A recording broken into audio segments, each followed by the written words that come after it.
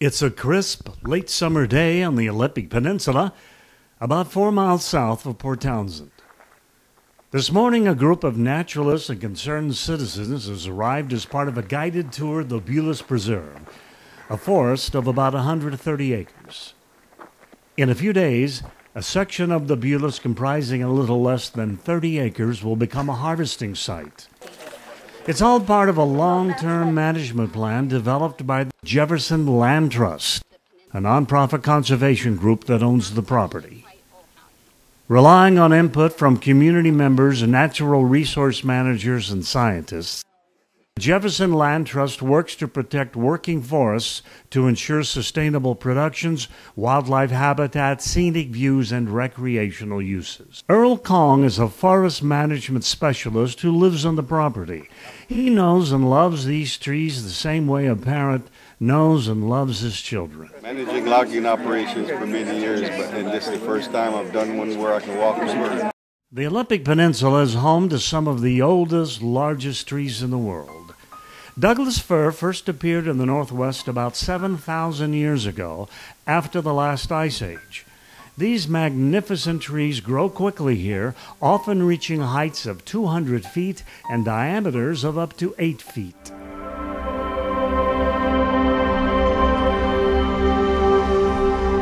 Douglas fir grows fastest up to age 40, and then it starts to slow down. By time you get to age 60, it's slowing down quite a bit. These trees are about 80 to 100 years old. They're not producing very much. They're producing three new trees of average size per acre per year, but it should do better than that. What we'd like to do is take off these old, dominant, stagnated trees and get the young healthy trees growing. In other words, taking away the, not, the low producing, low value trees and replace them with healthy, young, fast growing, productive trees. The Bulis Preserve was donated to Jefferson Land Trust in 1997 by Erika Bulis in honor of her husband Janis. The Bulises, born in Latvia, immigrated to the United States after the end of World War II. An author and artist, Earl Kong was born in Jamaica. He and Janis Bulis often roamed these woods together. And when he had enough to like a few hundred dollars, he'd buy another five acres. And then, so in five acre chunks over the years, they acquired the whole 160 acres. His career goals was to be a forester, and he was in forestry school when the war broke out. So they, Jan was very knowledgeable about forestry, and Erika was a map maker, cartographer. Jan likes to walk through and use the sun to guide us, you know, north south. But on a foggy day, we we get lost. The dogs always came with us when we went to the woods.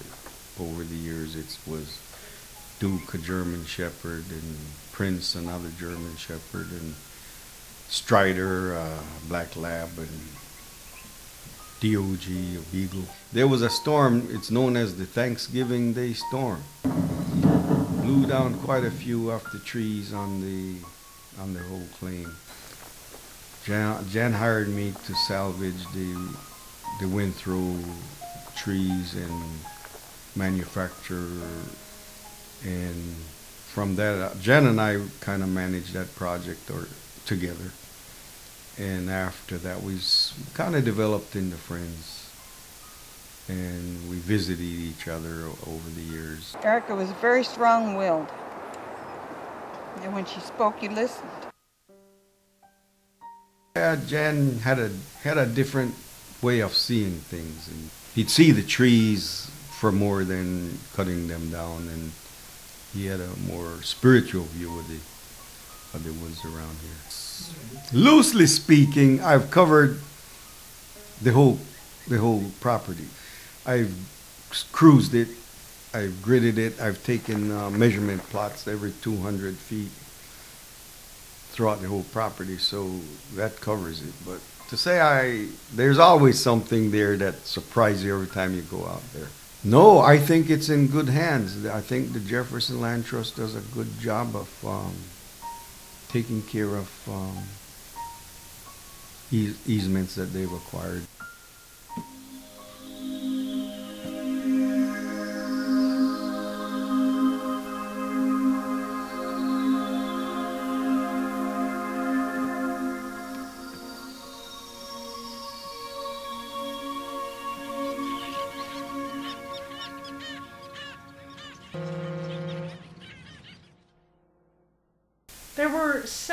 Wishes that Erika had for the future of the land. One was that 90 acres of the property was maintained as a preserve, so essentially managed with a goal in mind of having the forests stay the same. Um, when we were gifted this property, there were several wishes that Erika had for the future of the land. One was that 90 acres of the property was maintained as a preserve, so essentially managed um, with with the goal in mind of having the forest stay the same. And she also understood that the land trust would need funds to be able to manage the property in perpetuity. So she made a provision in her gift that we could actually selectively harvest from a 26 acre portion of the property.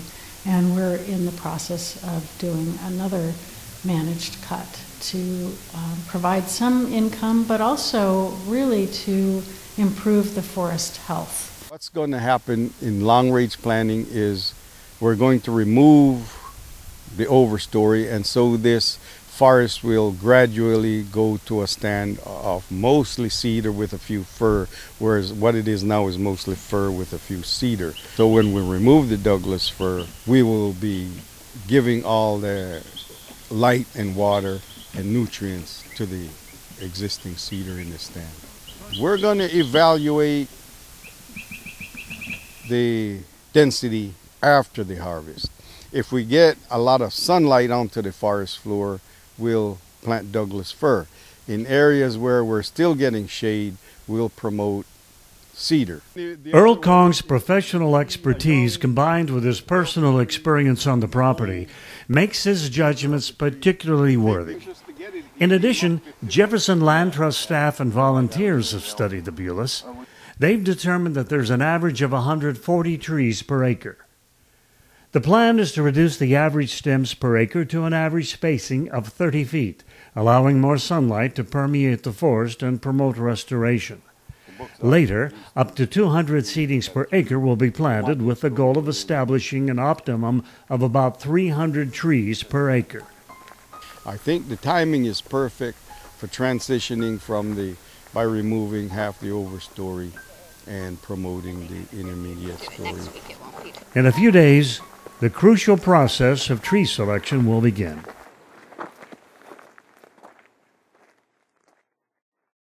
The overall goals of our management really have to do with both habitat preservation, habitat protection, you know, water quality, as well as the production of timber and revenue from those the the forest products. Erik Kingfisher has been studying, documenting, and helping to manage conservation properties in the Pacific Northwest for nearly 20 years. As the Jefferson Land Trust Stewardship Director, he brings valuable expertise in forest ecology and natural lands management, with an emphasis on the stewardship of conservation land. His is a critical professional focus that's crucial to the careful implementation of the Bulis Forest Management Plan. Yeah. We let it go, it's just going to look that same way in mm-hmm. 20, 30 years. But the harvest here on this property has been laid out um, to reduce the number of stems per acre on this property, allowing more sunlight to come down through the canopy down into the intermediate and understory layers of existing trees. If you got 200 trees per acre and you're going to take 30%, well, it's better to paint the trees you're going to take. But if you're going to leave 30%, then it's better take the trees you're going to leave. Maybe I should say I value the working forest landscape. It provides, you know, jobs and revenue and habitat and all those things. And this is a, a small scale example of the kind of forestry that can meet multiple goals, um, both the timber production, um, revenue, um, uh, e- you know, environmental or eco- ecological uh, values, and even social values with the, like I said, the jobs in lumber, etc. Probably 300 years old. That's what I hear. Yeah.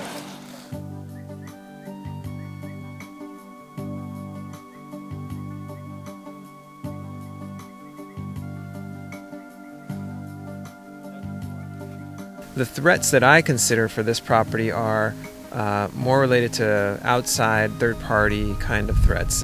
And in 1914, two teenagers had a fire on a wagon and they went through the Quimper and set fire all over and they burned everything from Hastings to Chimacum. The working forest portion of this property is um, it is also an opportunity for all of us to learn. But are these growing like this because they're crowded or because this is just a poor site because it's so dry and Both okay. poor site and and it was it's carrying what about 300 stems per acre. It should be carrying two.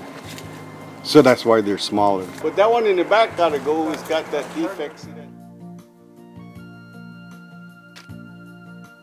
We select trees for harvest by identifying those with overlapping crowns, or older trees that are shading out or crowding out nearby younger trees.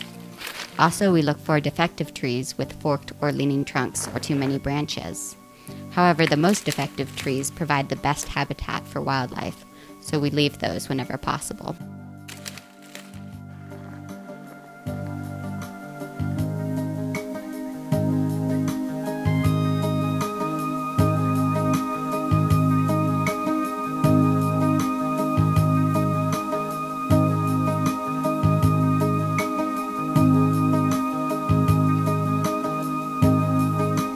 This property is certified as under the Forest Stewardship Council certification program, uh, which is a mark of responsible forestry.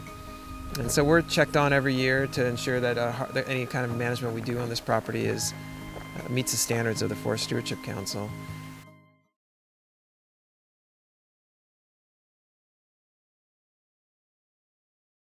The area around what is now Port Townsend was one enormous glacier about 10,000 years ago. That's what we call the last ice age, but actually it was much drier and warmer.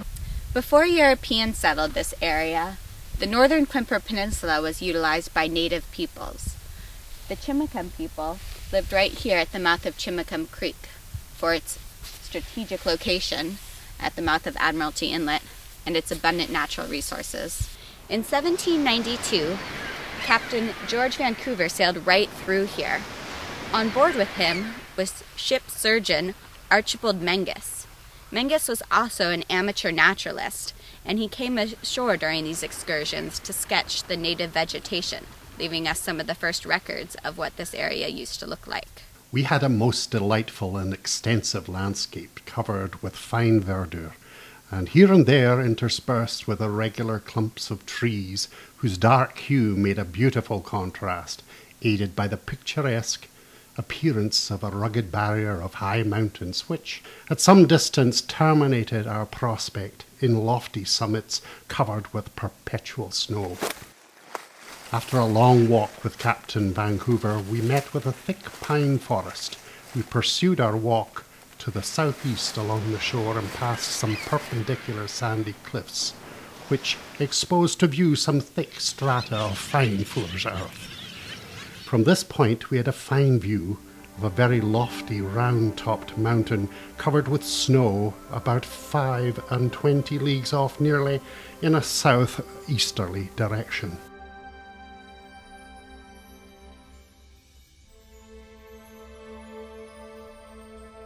The habitat we have here today is somewhat like that that Archibald Menzies documented.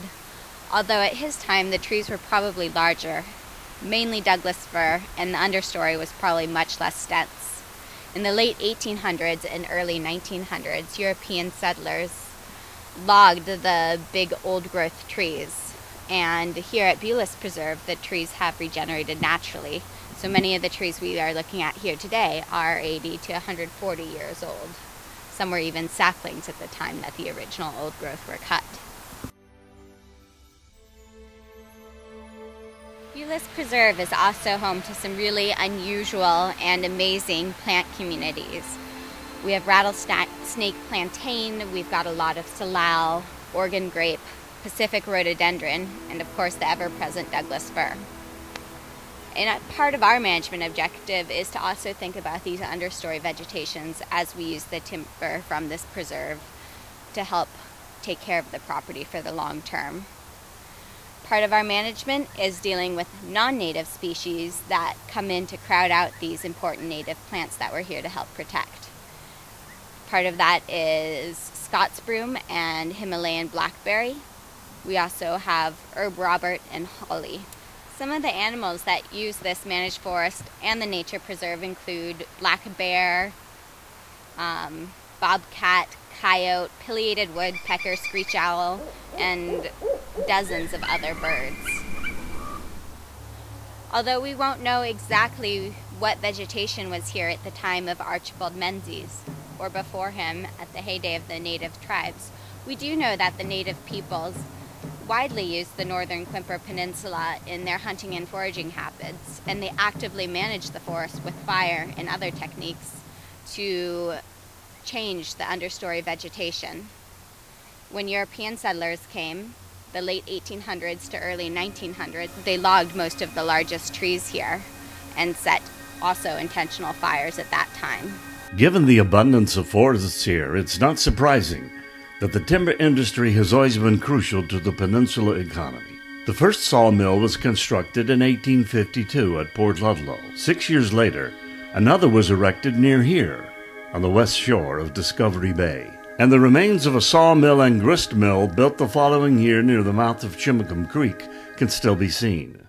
Loggers worked 16 exhausting, dangerous hours every day, and even today, there are occasional fatalities at logging sites.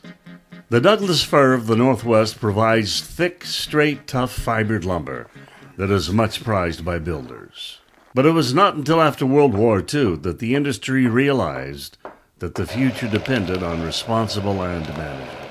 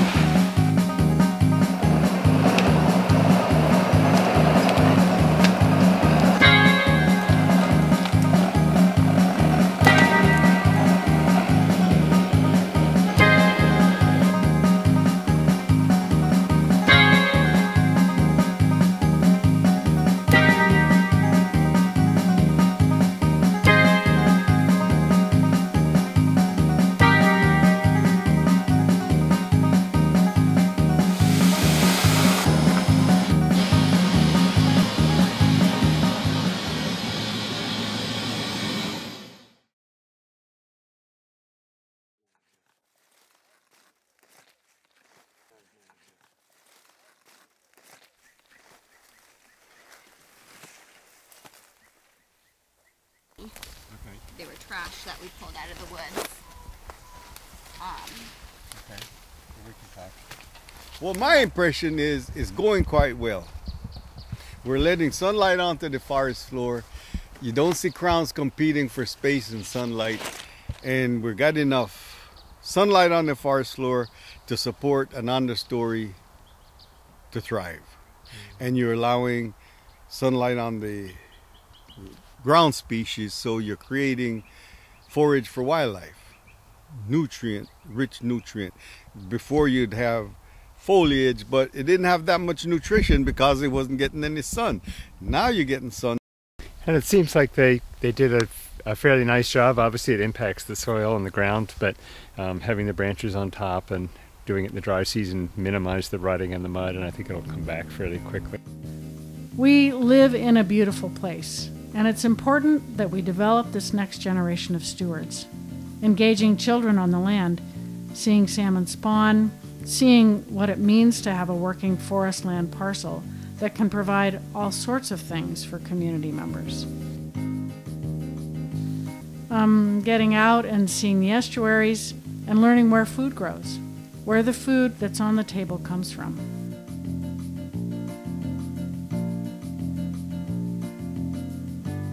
So, engaging the community in a meaningful way will continue to be a really important part of Jefferson Land Trust's work.